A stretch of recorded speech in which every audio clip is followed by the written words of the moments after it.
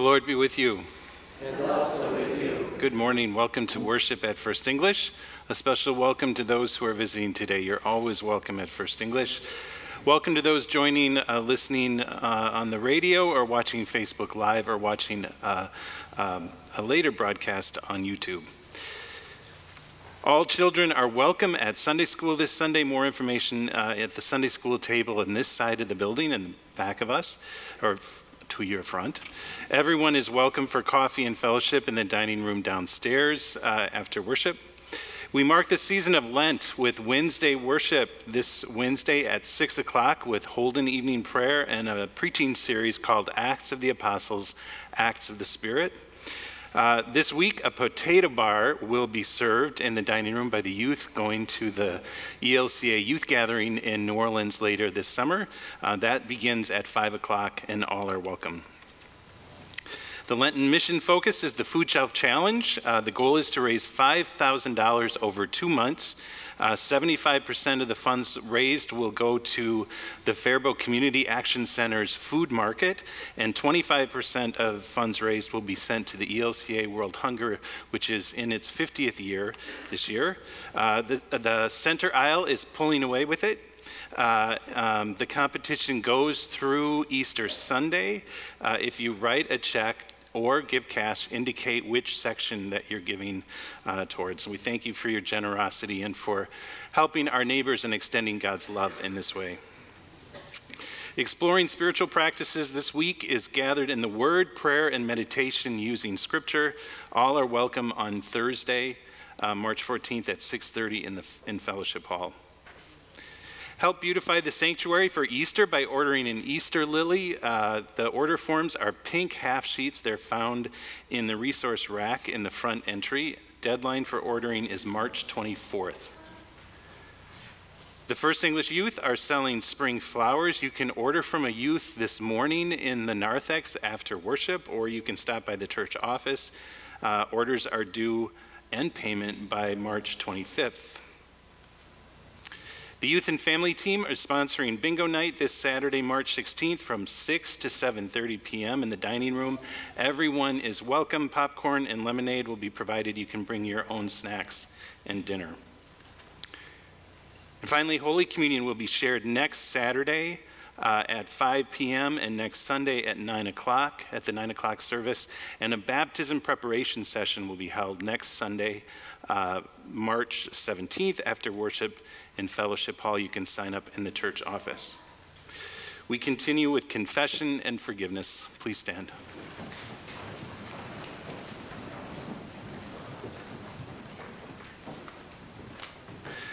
Blessed be the Holy Trinity, one God, who writes the law on our hearts, who draws all people together through Jesus. Amen. Held in God's mercy, let us confess our sin in the presence of God and of one another.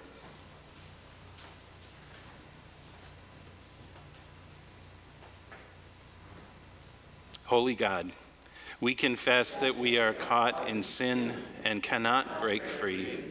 We hoard resources while our neighbors are hungry and cold. We speak in ways that silence others. We are silent when we should speak up. We hold grudges in our hearts. We let hurts grow into hatred. For all these things, and for sins only you know, forgive us, Lord. Amen. Here is a flood of grace. Out of love for the whole world, God draws near to us, breaks every snare of sin, washes away our wrongs, and restores the promise of life through Jesus Christ. Amen. Our opening hymn is O Christ, our hope.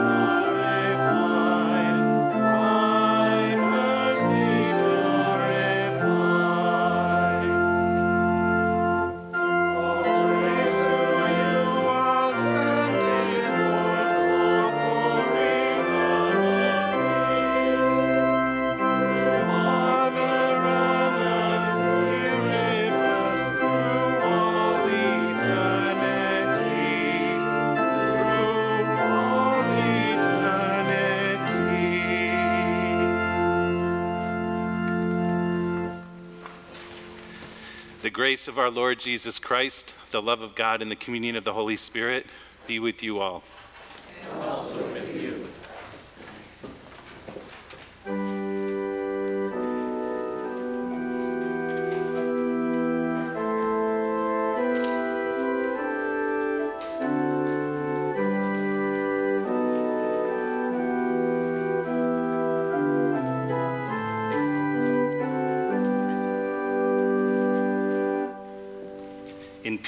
Let us pray to the Lord. Lord, have mercy. Christ, have mercy. Lord, have mercy. Have mercy, O Lord. For the reign of God and for peace throughout the world, for the unity of all, let us pray to the Lord.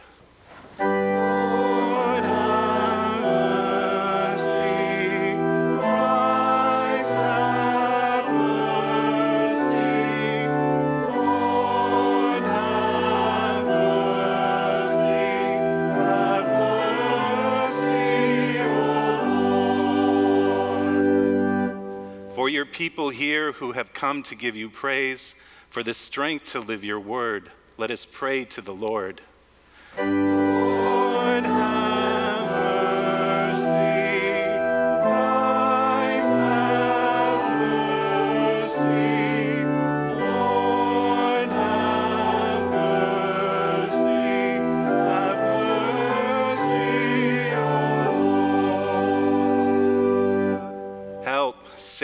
Comfort, and defend, defend us, O God. Amen.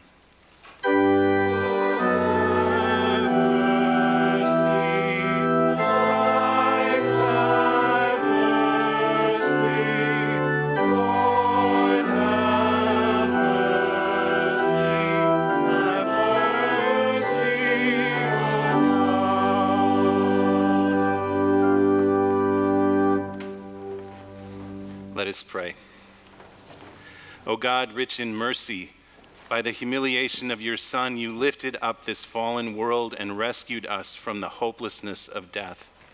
Lead us into your light, that all our deeds may reflect your love through Jesus Christ, our Savior and Lord, who lives and reigns with you and the Holy Spirit, one God, now and forever. Amen.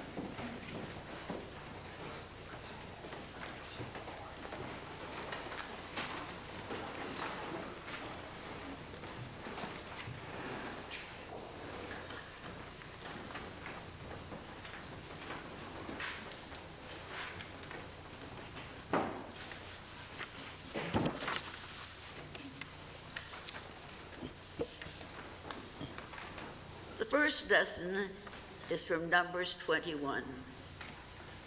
From Mount Hor, the Israelites set out by the way of the Red Sea to go around the land of Edom. But the people became impatient on the way. The people spoke against God and against Moses. Why have you brought us out of Egypt to die in the wilderness? For there is no food and no water, and we detest this miserable food. Miserable food.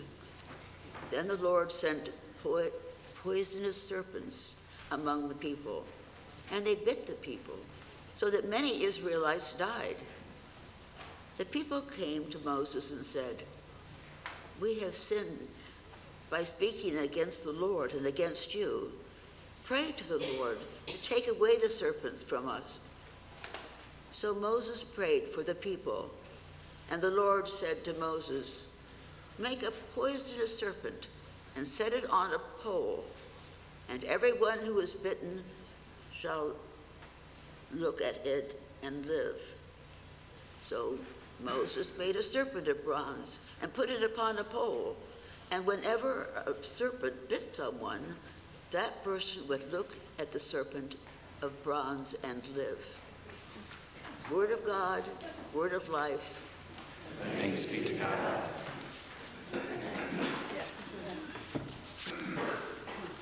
The second lesson is from Ephesians. You were dead through the trespasses and sins which you have once lived, following the course of this world, following the ruler of the power of the air, the spirit that is now at work among those who are disobedient. All of us once lived among them in the passions of our flesh, following the desires of flesh and senses and we were by nature children of wrath, like everyone else. But God, who is rich in mercy, out of the great love with which he loved us, even when we were dead through trespasses, made us alive again with Christ. By grace we have been saved, and raised up with him and seated us with him in heavenly places in Christ Jesus so that in ages to come he might show the immeasurable riches of his grace in kindness toward us in Jesus Christ. For by grace you have been saved through faith. And this is not your own doing, it is the gift of God, not the result of works, so that no one may boast. For we are what he has made us created in Christ Jesus for good works, which God prepared beforehand to be our way of life. Word of God, word of life. Thanks be to God.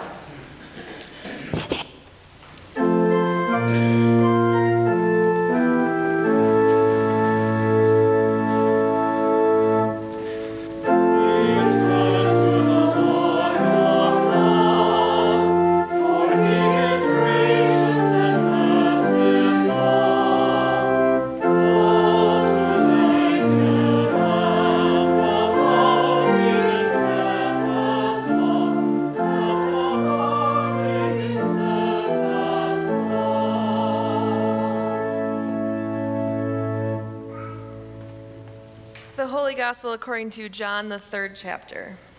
Glory to you, O Lord. Jesus said, Just as Moses lifted up the serpent in the wilderness, so must the Son of Man be lifted up, that whoever believes in him may have eternal life. For God so loved the world that he gave his only Son, so that everyone who believes in him may not perish but have eternal life. Indeed, God did not send the Son into the world to condemn the world but in order that the world might be saved through him. Those who believe in him are not condemned, but those who do not believe are condemned already, because they have not believed in the name of the only Son of God. And this is the judgment that the light has come into the world, and people loved darkness rather than light, because their deeds were evil. For all who do evil hate the light and do not come to the light, so that their deeds may not be exposed. But those who do what is true come to the light so that it may be clearly seen that their deeds have been done in God. The Gospel of the Lord. Praise you, O Christ. You may be seated.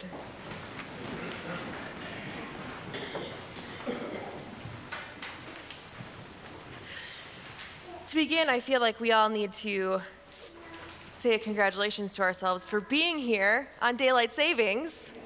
An hour early, my kiddo was not excited to wake up, but we all made it. And if anyone comes for the sending hymn, we'll welcome them as well. So I am not a American football fan, um, much to I think um, my brother's disappointments. I enjoy baseball and hockey. I I love soccer. There are many sports that I can get into. I just I never have gotten into football. The only time I remember even having any interest in it was when my cousin, who's a couple years younger than me, got really into the Green Bay Packers and as someone from Minnesota, I felt it was my duty to just become a Vikings fan. so when she got a Green Bay Packers scrunchie, I got a Vikings one. When she got a Green Bay Packers jersey, I got a Vikings one, just to make sure we knew where our allegiances were.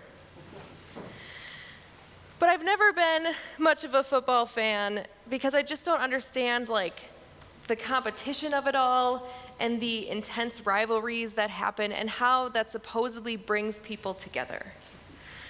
I worked um, at a previous call with some pretty ardent Green Bay Packers fans who were also the type that were like, well, Minnesota's not our actual rivalry, the Chicago Bears are. And I was like, I can't even handle any of this conversation. I don't want to talk about it. There's these intense rivalries that happened, and so I just, I never really got into it. I didn't understand it. So if anyone is keeping an apocalypse bingo card, you can check off the fact that I'm going to talk about football in a sermon. Because of, because I've never really paid attention to the Super Bowl, I never know who's actually in it until last year. Because Kansas City was facing the Philadelphia Eagles, which I think was last year. But the reason I enjoyed that game or I paid attention to it was because there were, there were brothers playing each other. Travis Kelce plays for the Kansas City Chiefs. Jason Kelce recently retired but played for the Philadelphia Eagles. And lo and behold, they found themselves facing each other in the Super Bowl. After a season of competition, they had found themselves rivaling against each other. And so I found it very interesting to have these two brothers working hard, playing in this game that meant so much to them, and being against one another. My personal favorite part of this was that their mother, who has come to be known as Mama Kelce, wore a custom jacket that had half Kansas City Chiefs and half Philadelphia Eagles on it, which made a lot of sense to me because she was there obviously supporting both of her children. And um, it was interesting to me as well because these two brothers had started a podcast called New Heights, which I do listen to, though I skip over all the football talk. Because it's interesting to hear them talk to each other, as I think all siblings are interesting with each other. But they talked about football and all of the things. And one episode, they talked about the end of the Super Bowl, in which Travis's team won, as ultimately one of them was going to. Now, there were many reports about what Jason, the losing brother, said to Travis at the end. But as they talked about it, they, Jason said, I went up to you, I hugged you, I said congratulations, and I told you to go celebrate with your team because I don't want you feeling bad for me. At the end of that game, you could see the disappointment that Jason had you could see the sadness that he had for not winning the Super Bowl, as is every football team's goal. But in a moment, you can also see, if you watch the if you watch the end of the game, you can see him see Travis and his face changes and he smiles and pulls him into a hug. I think that game was so compelling to me because it was this juxtaposition of the loyalty you have for family, the love that you have as siblings, and the allegiance you have to your football team. And in the end, I think Jason and Travis showed us that ultimately their brotherhood is what matters to them the most. That though they play on opposing teams and they worked hard and they tried to defeat each other in that game for sure, they also remembered who they were and their brotherhood. In fact, Travis said that fa- his most favorite part of that season was actually just getting to talk to Jason every week about football on their podcast. The, the gospel reading we had today features one of the most famous verses, I think. It's a verse that is held up at football games or is memorized by our kids at camps. It's known to all of us, perhaps. John 3:16. For God so loved the world that he gave his only Son, so that everyone who believes in him may not perish but have eternal life. I think this verse is a beautiful summary of our Christian faith.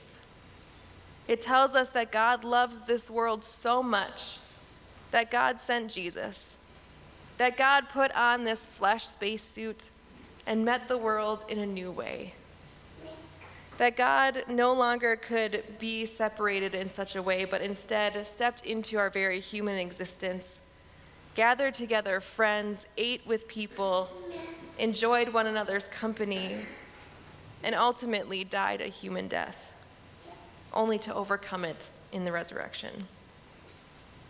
This is a beautiful verse, and so it makes sense that it would be memorized and said often. But sometimes I think this verse trips me up when it's simply said as itself, because it sounds exclusionary. It sounds like we have to suddenly pick what football team we're on. It feels like suddenly we have to, we have to be on one side of the world. That we have to be on the everyone who believes in him, and we have to hold on to that well because that's the only way that we'll have eternal life is in our belief. But I think we need to also read the verses around it. We need to remember the context that it's in, and we need to remember the God that we worship and the God who loves us overwhelmingly and fully. After all, the verse right after it says, Indeed, God did not send the Son into the world to condemn the world, but in order that the world might be saved through him. Now, whenever condemnation is is said, I think it gets a little scary. But I like the reminder that the only thing that has the word eternal with it in this passage is life. There is no eternal condemnation spoken of in this passage, only the gift of eternal life. This is what God gives to the world. Now we go on in this passage to learn more about what God calls us to be and who God calls us to be. And I think one of the ways that God changed this world and continues to change our world is that Jesus exposes what we are doing to one another. Jesus sheds light, as you will, on our human experience and what is going on in the world. Verse 19 tells us this is the judgment that the light has come into the world, and people loved darkness rather than the light because their deeds were evil. For all who do evil hate the light and do not come to the light, so that their deeds may not be exposed. I think this is telling us, it's showing us our world, the way that our world is unfair, the way that we have allowed the few to take advantage of the many, the ways that some people prefer to work in shadier ways so that they can get ahead rather than taking everyone with them. After all, sin is real in this world. We do mess up, we do hurt one another. War exists. And so we have to deal with the fact that there is darkness, there is evil in this world. But we do also get the reminder that there is light in this world. And yes, there are those who, do, who love the darkness, those who are taking advantage of others not seeing what they are doing. But there is also light that will justifiably expose them. There are, there are ways in this world that are unfair, and God calls us to care for the widow, the orphan, and the alien, but sometimes we're just not so good at that. After all, I think we've all done things in this world and in our lives that we'd prefer to be left in the darkness, to not come to light. Indeed, there is darkness and light in all of us. But this is what Jesus does. Jesus shows us what we are doing and how it is affecting us and the world around us and the people around us, and God sheds light on the situation so that we can come to truth and to hope and to love. After all, darkness isn't even really like a thing, it's just the absence of light. Jesus is the one who brings the light. And indeed, we learn this in the beginning of John's gospel when John writes, In him, God and Jesus, was life. And the life was the light of all people. The light shines in the darkness, and the darkness did not overcome it. There is darkness in this world, but it cannot overcome the light of God. After all, if this entire room, if this whole space were darkened and there was one light, it would shine brilliantly. We may be left with a lot of darkness in our world, but it can never overcome the power of God and the light that God brings. The light that brings us life and love. I don't think these verses are a judgment between those who are in the dark and those who are in the light. After all, we both have dark and light in us. I don't think this is a judgment of Christian and non Christian. I don't think this is a way to put us into categories and to help us know that we're going to be okay because we have a strong enough whatever. I think this is showing that Jesus exposes the darkness in our world so that we can come out and live in the light. That evil cannot be overcome but that evil cannot overcome God. That God cannot be overcome by evil. And this is not an easy thing. It's not easy to suddenly have what you have been doing, if it hasn't been very helpful or truthful, be exposed. But it is a holy thing. When we are shown the injustices in our world, we can step up and help. When we are shown the lies, we can expose the truth. When we see the evil in our world, we can combat it with God's love. I think sometimes we can get so lost in judgment and in competition with others. We focus on the allegiance we have to our football team, to our political party, to our coffee preferences, to our understanding of whether a hot dog is a sandwich or whether cereal is a soup that we can forget about the ways that we are siblings to one another. That we forget about the ways that light and love surround and envelop us all, regardless of the ways that others describe us, regardless of the ways that we describe ourselves, regardless of any lines that are drawn between us. We know that God calls us all children. We know that God, who is rich in mercy, out of the great love with which He loved us, even when we were dead through our trespasses, made us alive together in Christ. We know that it is grace that has saved us, not anything that we have done, but by the gift of God. We know that there is darkness and light in our world, and that God is ever bringing more light. After all, John 3:16 says, "For God so loved the world." The world. The whole thing. Not just the Kansas City Chiefs or the Philadelphia Eagles. Not just Super Bowl winners. Not just America, not just where Jesus walked around in Israel and Palestine, not just anything. God isn't exclusionary. God loves the world and all in it. God's love may look different, but God loves. End of sentence.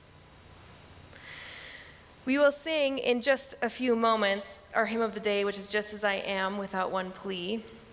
And the last verse says, Just as I am, thy love unknown has broken every barrier down. Now to be thine, yeah, thine alone, I come, I come. Through Jesus and through love and light, God breaks down every barrier that we set between us, every competition that we create, every division that we have, and reminds us who we are that we are beloved, that God loves us even when we are dead in sin, and that together we form the body of Christ. So may we remember that we are all siblings in the family of God. May we not draw lines, but cross them in love. May we strive not to judge, but leave that up to God. May we remember that no matter how dark it feels, the darkness does not overcome light. May we continue to have hope that that light will expose love and truth in this world. And may we not settle for the categories that divide us, but remember that we are truly one. Amen.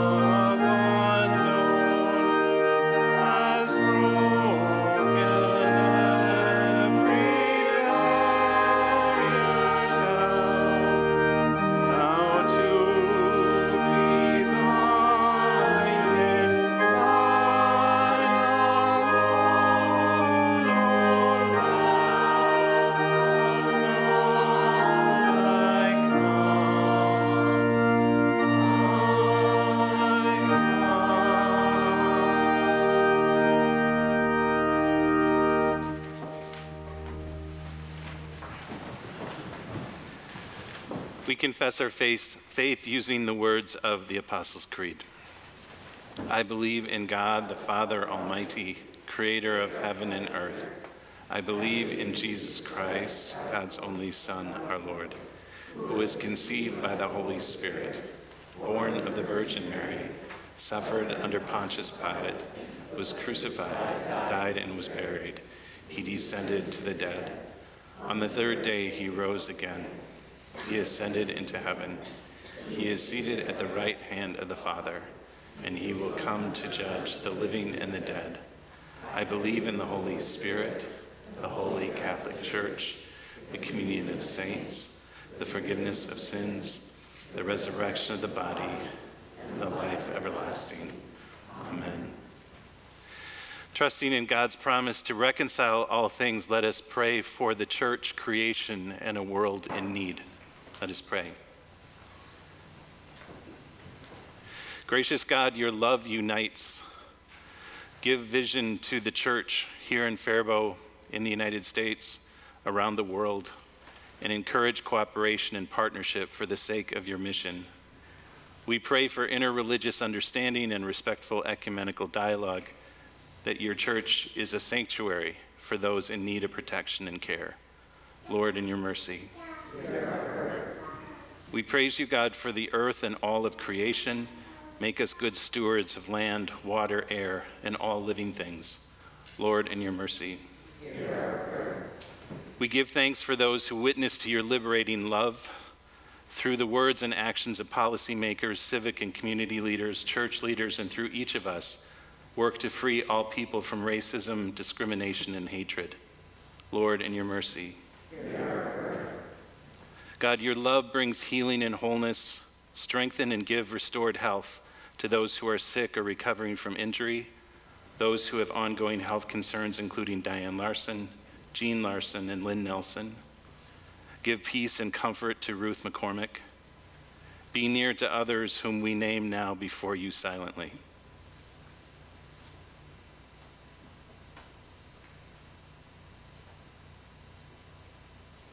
Strengthen and encourage healthcare workers, first responders, and caregivers. Lord, in your mercy. God, your love enlightens our lives. During this season of Lent, open our hearts and minds to fresh understandings of your grace, forgiveness, and mercy. Deepen our love for you and for our neighbors. Teach us to pray for our enemies and give us and all people the blessing of hope and joy. Lord, in your mercy. We remember today with thanksgiving our loved ones who have died and who are at rest in your care. Bless those who mourn today. Renew them and all of us in faith with the promise of your love and care that is never ending. Lord, in your mercy. God of grace, receive these prayers and the prayers of our hearts and continue to accompany us on our journeys. Through Jesus Christ, our Savior. Amen. The peace of Christ be with you always. And also with you. Let us share a sign of that peace with one another.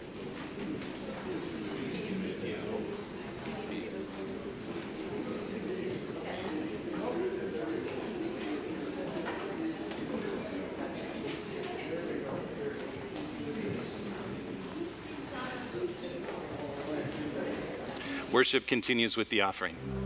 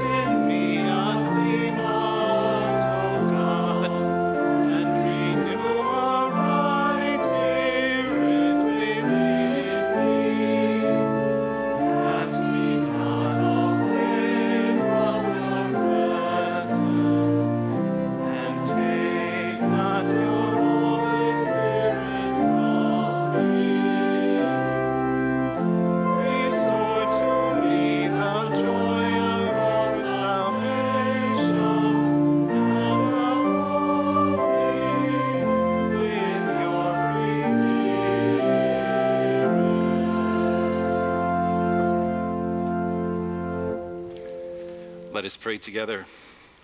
Jesus, you are our source of life and have brought to us all good things. Bless these gifts that we have gathered, that all people may know your goodness. Give us a hunger for justice and peace. We pray this in your name. Amen. Gathered into one by the Holy Spirit, we pray as Jesus taught us. Our Father, who art in heaven, hallowed be thy name. Thy kingdom come, thy will be done, on earth as it is in heaven. Give us this day our daily bread, and forgive us our trespasses, as we forgive those who trespass against us. And lead us not into temptation, but deliver us from evil. For thine is the kingdom, and the power, and the glory, forever and ever. Amen. Beloved, we are God's own people holy, washed, renewed. God bless you and keep you, shower you with mercy, and fill you with courage and give you peace. Amen. Our sending hymn is, O God of mercy, God of light.